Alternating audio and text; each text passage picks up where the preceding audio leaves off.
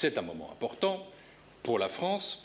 C'est la fin de neuf euh, longues années de procédure, une procédure qui est pénible, d'efforts euh, budgétaires qui ne sont jamais faciles à imposer et à supporter, mais qui sont nécessaires.